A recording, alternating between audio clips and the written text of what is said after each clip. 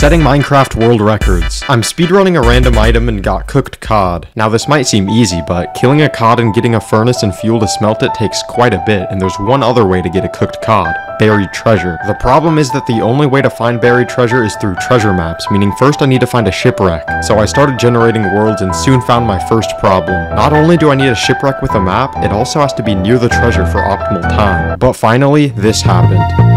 Okay, there's an ocean. Shipwreck over here. Okay, there we go. Oh my, we're so close. This is it. I'm gonna get on land to get there quicker. Okay, should be right here.